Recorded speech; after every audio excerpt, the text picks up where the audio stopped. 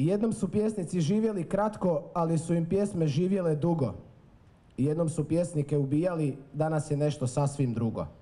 Pjesnici žive pod zaštitom, na što se slavna sudbina svela, sad je sve više velikana koji nadžive svoja tijela.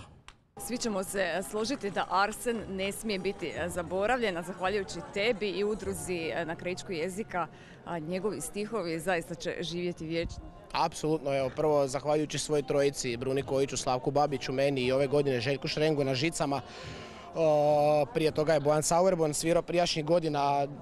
Ideja koja je nikla sasvim slučajno između Brune Kojića i mene 2018. godine gdje smo se našli kod njega i nismo zapravo planirali ništa te večeri napraviti nego smo se dosjetili da volimo stvarno privatno Arsenovu poeziju i volimo čitati Arsenovu poeziju, često se vraćamo u Arsenovoj poeziji i uvijek onako u nekakvim životnim, ajmo reći bilo kakvim situacijama se sjetimo nekih Arsenovih stihova, što znači da je poezija i dalje živa, što znači da je poezija sveobuhvatna i da je jednostavno prožeta kroz svaku poru ovog društva i to je ono što pjesništvo čini živim. Ako, ako pjesnik stvara takve pjesme, onda je to zapravo neka vječna poezija.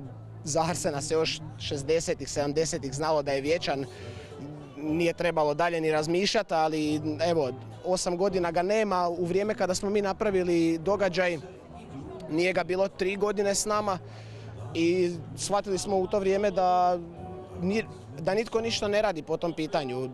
M na, na lokalnoj razini, na regionalnoj razini, ali i na nacionalnoj razini nije ništa bilo sad nešto spektakularno što se ostvarivalo. Napomenut ću čisto da umjetnik i dan danas nema niti jednu ulicu, trg, stepenište što god je imenovano po njemu što smatramo da je... A zaslužio i tekako. Apsolutno i smatramo da je to čisti grijeh i evo ovo je jedna čista skromna inicijativa, nas trojica smo najobičniji amateri, mi nismo nikakvi glumci, mi nismo nikakvi recitatori, retoričari, mi smo ljudi koji privatno vole glazbu i poeziju Arsena Dedića i u tom duhu jednostavno iz godine u godinu radimo ovaj događaj kako ne bi sjećanje umrlo i evo iz godine u godinu kao što možemo i sad vidjeti ovo će definitivno večeras biti rekord.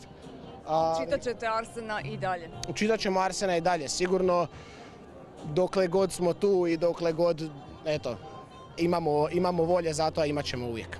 Da, Arsen je veliki e, skladatelj i poznati po e, poeziji svojoj i šansonama, zaista, zaista jedan e, veliki umjetnik, ali Zašto je tebi evo važan, po čemu je tebi poseban Arsen Dedić? Pa ne znam, kao što sam rekao, nekako kroz cijeli život, ono još od osnovne škole, znam, barem ne daj se Ines, ono, u izvedbi Rade Šerbeđije i to onaj live iz Lisinskog, ono, sjećam se, to je te izvedbe uživo dosta ovaj, upečatljiva izvedba e, i od onda je nekako uvijek nije prošla, ne prođe par mjeseci ili godina da se nisam vraćao toj poeziji. E, čisto da napomenem, nas trojica smo i autorski pjesnici koji smo 10 plus godina u poeziji, tako da puno, puno utjecaja je tu imao upravo Arsen Dedić, sigurno. Najdraži Arsenovi stihovi? Ne znam. Teško izdvojiti. Pa neki koji su meni, možda nisu najdraži, ali nekako meni koji su ukorijenjeni u neko sjećanje još baš iz tih nekih osnovnoškolskih, srednjoškolskih dana je upravo iz Ines. Ono, ja neću imati s kim ostati mlad ako svi ostarite. Pitao sam ljude koliko će to trajati Može li se umrijeti Hoću li se poslije kajati? Javio sam ljude Dizao sam paniku. Prejako je svjetlo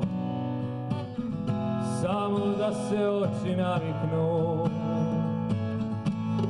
Od kako te ne volim Noću kiše moje Izgubljeni zvuci boje Ni sa kim ih ne dijelim. Od kako te ne volim Netko mi iz vlaka maše. Prazno mi je, ali lakše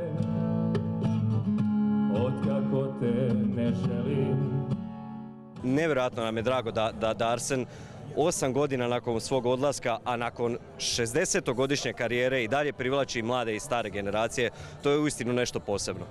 Mislim da je Arsen a, za svakog osobno poseban na svoj način. Evo, što tebi, koliko tebi znači Arsen? Upravo tako, Arsen nije nikada e, bio generacijski pjesnik. On je bio e, prije svega osebujna ličnost s kojom se mogla poistovjetiti i mlađa i starija generacija.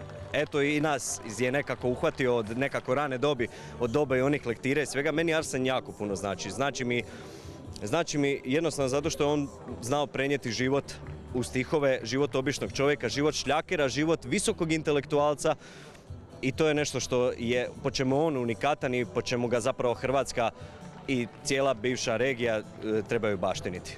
Ja sam Arsen. To mi je ime i zanimanje. Što znači koristim se kao lijek i kao otrov. Ovisi u kojoj mjeri me se uzima. Kratica mi je Ars, a kemijski znak mi je As. Ali moje ime se ne izgovara javno. Policija ne dozvoljava da se širi. Moje ime je konspirativno ime nekih mojih drugova. Ono se ispisuje noću po zidovima, po cijenu slobode.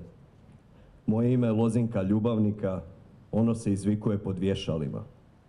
Mojim su imenom samo najhrabriji krstili svoje dječake u slijepim planinskim kućama, znajući dobro što ih zbog toga čeka.